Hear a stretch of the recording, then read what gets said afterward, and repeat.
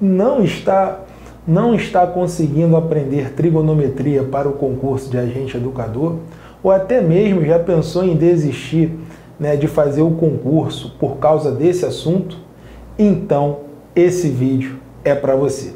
Sejam bem-vindos a mais uma estreia aqui no nosso canal. Para quem não me conhece, sou o professor Marcão e junto com o professor Renato Oliveira fundamos o Matemática para Passar e o famoso método MPP.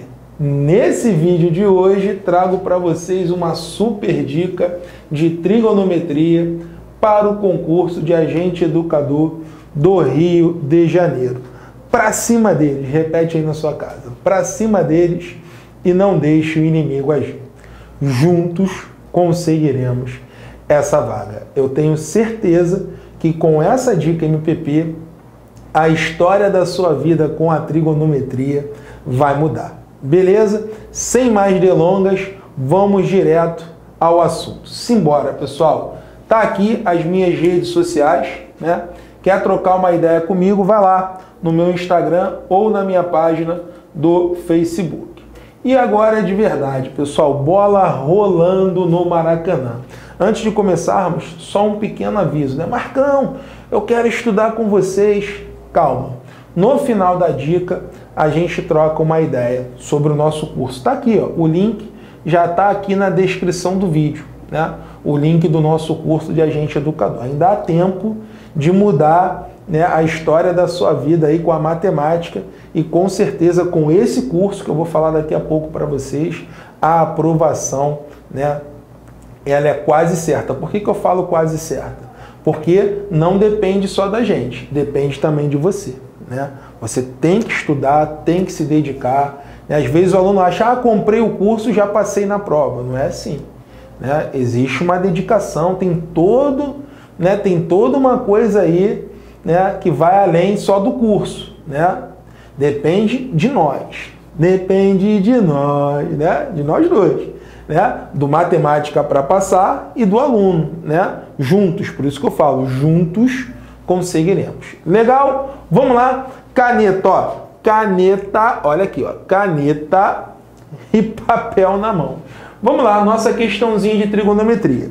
Olha aí, considere que o ângulo alfa, meu Deus, Marcão, meu Deus, né? Lágrimas rolando, já tô vendo aí, ó as lágrimas, cebola no olho, ó. Falou em ângulo, cebola, cebola no olho. As lágrimas descem, né? Vamos lá. Considere que o ângulo alfa está no intervalo entre 90 e 180. E seno de alfa, ó, se liga aqui, ó, e seno de alfa é igual a 0,5. Legal. O valor do cosseno de alfa é igual, vamos lá, pessoal, bizu, método MPP, bizu, né? Tá tudo junto. Tem um toque com isso, tem um toque. Vamos lá, pessoal. Na matemática, você tem que associar as coisas, né? senão não rola, não vai rolar. Você tem que associar, você tem que ler a questão, né? E já vem o start, pô, esse assunto, é esse assunto aqui. Né, pô? Em detalhes você já sabe qual é o assunto. Essa é a maioria da, né, o que o aluno questiona aí, que o aluno vive me perguntando, Marcão, pô, eu olho a questão e não sei. Então, vamos lá, vamos associar as coisas. Vou te dar aqui um macete, tá? Sempre que ele te der o seno, do ângulo e perguntar do cosseno, qual é a associação que você vai fazer? Pô, me deu o seno. Pô, tá me dando o seno. E tá perguntando o cosseno, cara, já é automático. Relação fundamental da trigonometria. Você já tem que ter essa sacada. Pô, me deu seno. Pô, a questão tá me dando seno. E tá pedindo cosseno, relação fundamental da trigonometria. É uma formulazinha. E como é que é essa fórmula, Marcão? Passa aí pra gente. Legal. Vamos lá. Relação fundamental da trigonometria. RFT. Relação fundamental da trigonometria. Como é que é essa relação? É uma formulazinha. Seno de alfa ao quadrado mais cosseno de alfa ao quadrado é igual a 1. Repetindo, seno de alfa ao quadrado mais cosseno de alfa ao quadrado Isso tem que ser igual a 1. Então você já tem que linkar essas coisas. Caramba, a questão me deu seno. Ó, o cara está me dando seno. E está perguntando o cosseno, relação fundamental. Já é automático. Aí já tem que estar tá na tua cabeça, já tem que estar tá aqui na tua mente essa formulazinha aqui. Beleza? Aí o que, que a gente vai fazer agora? Eu vou substituir. Ele está me dando seno, não é isso? Então, aonde tem o seno, eu coloco quanto? 0,5. Só que eu vou colocar na forma né, de fração. 0,5 é a mesma coisa que 5 sobre 10. Tá? 0,5 é a mesma coisa que 5 sobre 10. Tá legal? 5 sobre 10. Simplificando, ó, vai dar 1 sobre 2. Tranquilão na nave. Tá? 5 sobre 10 é a mesma coisa que 1 sobre 2, né? simplificando essa fração aqui por 5. Então, no lugar do seno, eu coloco 1 sobre 2. Legal? Então, vamos lá. Como é que vai ficar aqui? Seno ao quadrado vai ficar 1 sobre 2 ao quadrado, mais cosseno ao quadrado de alfa. Isso é igual a 1. Né? Segura a onda aí. Pô, Marcão, já tô abrindo o berreiro. Pô, nem começou a brincadeira, tu já tá gritando? Calma, segura a onda aí. 1 sobre 2 ao quadrado. É só você ir degustando a questão. 1 ao quadrado vai dar 1, 2 ao quadrado vai dar 4. Vai cair uma questão dessa na tua prova. Se liga. Mais o cosseno ao quadrado, isso tem que ser igual a 1. É. Letra de um lado, número do outro. Então vai ficar aqui cosseno ao quadrado de alfa vai ser igual a 1 menos 1 quarto. Ó, tieteteco, ó, fraçãozinha, ó, multiplica, multiplica e diminui, né? E claro, mantém o denominador, né? Multiplica e diminui e mantém o denominador. Vamos lá, 4 vezes 1, 4 né? 4 vezes 1, 4. 4 menos 1, 3. Então vai ficar cosseno, tranquilão, cosseno ao quadrado de alfa é igual a 3 quartos. Não é isso? 4 vezes 1, 4. 4 menos 1, 3. 3 o quê? Quartos. Aí, esse cara aqui passa para o outro lado em forma de raiz. Então, cosseno de alfa vai ser igual a mais ou menos a raiz quadrada de 3 quartos. Lindo? Aí vamos lá, pessoal. Achando agora o valor. Cosseno de alfa vai ser igual a mais ou menos a raiz quadrada de 3 sobre 2. Porque a raiz de 4 é exata, né? Então daria, né? cosseno de alfa é igual a mais ou menos raiz de 3 sobre 2, porque é uma equaçãozinha do segundo grau. Beleza. Achamos aqui o valor. Claro, né? As raízes, né? Mais ou menos. Eu não posso ter duas respostas. E aí? Agora que são elas? A resposta é mais raiz de 3 sobre 2 ou a resposta é menos raiz de 3 sobre 2? Quem vai dar essa resposta para a gente é o ciclo trigonométrico. Né? Vamos lá. O ciclo trigonométrico é ele que vai dar a resposta para gente, se é mais ou menos. Porque tudo depende da posição do ângulo. Tá? Tudo depende da posição do ângulo. Mas eu vou te passar aqui um macete que você não vai errar mais. Tá? Você não vai mais errar esse tipo de questão. Aqui é o centro, né? Aqui são os eixos. Vamos lá. Circunferência, ela é dividida em quatro partes, não é isso? Aqui é o zero, 90, 180, 270 e 360. Marcão, nunca vi isso. Calma. Tem jeito para tudo na vida. Segura a onda aí. Segura a onda aí. Vamos lá. Tem o eixo deitado e tem o eixo em pé. Agora que são elas. Quem é o eixo do seno e quem é o eixo do cosseno? Método MPP. Pega a visão. Olha o macete. Ó, deitado em pé. Se a pessoa está deitada, preste atenção nesse macete. Se a pessoa está deitada, a pessoa está com o quê?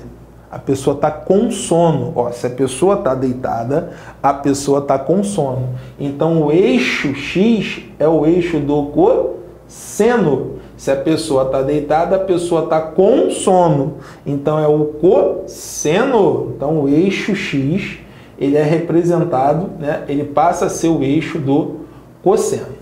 Agora, se a pessoa está em pé, a pessoa está sem sono. Então é o seno. É isso aí. Deitado com sono, cosseno. Em pé sem sono, é o seno. Beleza. Identificamos aqui o eixo. Agora vamos lá. O eixo do seno.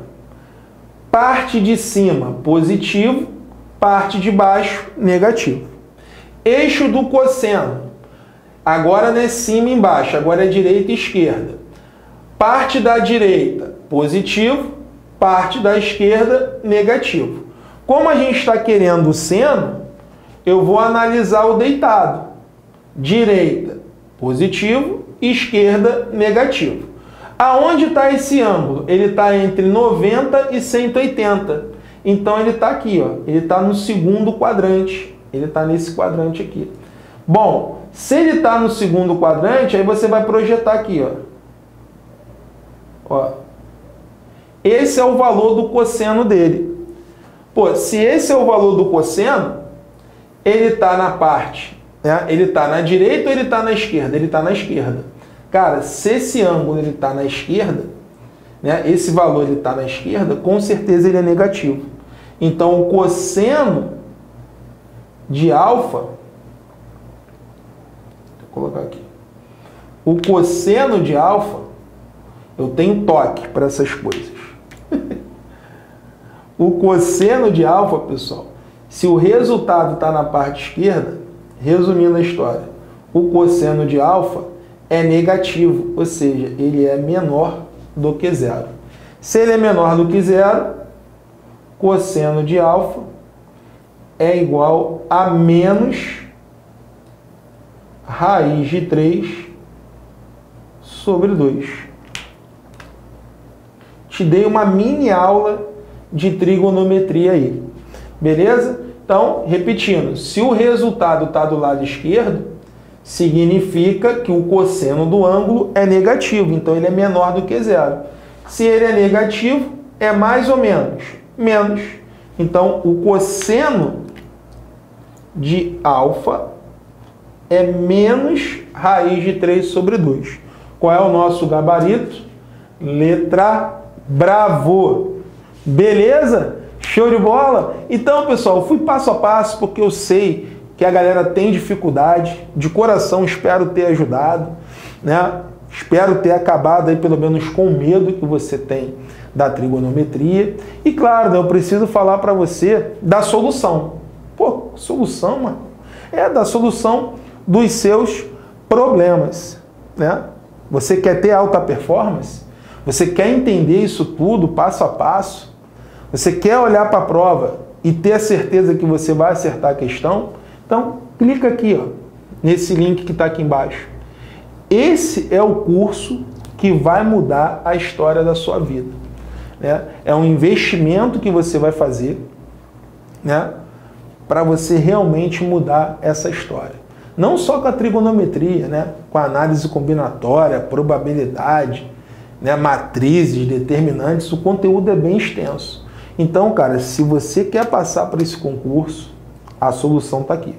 Pô, Marcão, estou perdido. Cara, tá aqui. Clica aqui na descrição do vídeo. Se você chegou até aqui é porque você está interessado. Clica aqui, olha o que nós oferecemos no curso, né? Olha lá direitinho o que nós oferecemos no curso. E caso você tenha alguma dúvida, qualquer dúvida que você tenha, entre em contato com a gente através da nossa central de atendimento, que já está aqui na descrição do vídeo, o nosso WhatsApp, ou, ou através das nossas redes sociais. Tá legal? O funcionamento do nosso WhatsApp é de segunda a sexta, horário comercial, e as redes sociais a gente sempre dá uma olhadinha, tá? Pô, Marcão, quero estudar com vocês, eu tô perdido para esse concurso de agente educador. Cara, dá tempo? Dá. Se você se dedicar, tiver clareza, foco, né? Aquela garra, determinação, cara, o impossível é possível. Eu tenho certeza disso. Né? E juntos, como eu falei no início da aula, é juntos. Ah, comprei o curso do matemática para passar, já estou aprovado na prova. Não vai rolar. Não vai rolar. Né? Ó, juntos. Né? A gente faz a nossa parte. Agora você tem que fazer a sua. Né? Dedicação, parar de sair, né? se dedicar. Beleza? Cara, dá uma olhadinha que o nosso curso está sensacional. Tá? Qual é o valor do meu investimento, Marcão? Clica aqui. Você não vai acreditar. O que nós oferecemos, o desconto que você está tendo, né? Nosso curso. Ah, Marcão, muitos alunos me perguntam, Marcão, pô, tenho dificuldade com matemática básica. Nós temos um curso lá de nivelamento de matemática básica, que onde nós ensinamos soma, subtração, potência, frações, equações. Cara, o curso está magnífico. Não deixe de olhar. É só você clicar aqui. Se você chegou até aqui, com certeza você vai dar uma olhadinha no curso. É só você clicar, ainda tem uma aula lá para você assistir. Beleza? Show de bola? Então é isso aí, pessoal. Mais uma dica, né? Matamos aí mais uma dica. Fiquem ligados, né? No nosso canal, inscreva-se no nosso canal, né? Para você receber aí as notificações. Beleza? Um forte abraço e matemática é o quê? Para passar. Valeu, pessoal!